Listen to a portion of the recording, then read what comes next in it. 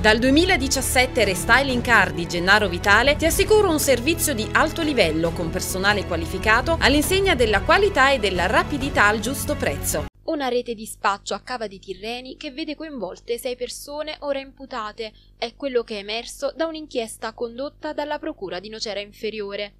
L'attività di spaccio di droga si estendeva non solo nella città metelliana, ma anche in parte dell'agro nocerino, nella valle dell'Irno e nella costiera malfitana. Gli eventi risalgono all'estate del 2019, svelati a seguito di una precedente indagine condotta in parallelo dalla DDA di Salerno. Per le sei persone imputate è richiesto il processo, in due sono stati già rinviati a giudizio, mentre per i restanti quattro la sentenza verrà emessa dal GUP attraverso riti alternativi al termine dell'udienza preliminare, 14 i capi d'accusa ricostruiti dalla polizia giudiziaria. Nella vicenda criminale un ruolo di primo piano è rivestito da un quarantenne cavese, coinvolto in un giro di spaccio che comprendeva soprattutto la vendita di cocaina, fornita agli acquirenti a 40 euro alla volta, dietro appuntamenti concordati in luoghi scelti con meticolosa attenzione. A dare un rilevante contributo alle indagini sono state le intercettazioni ambientali e i riscontri sul campo effettuati attraverso pedinamenti e attività tecniche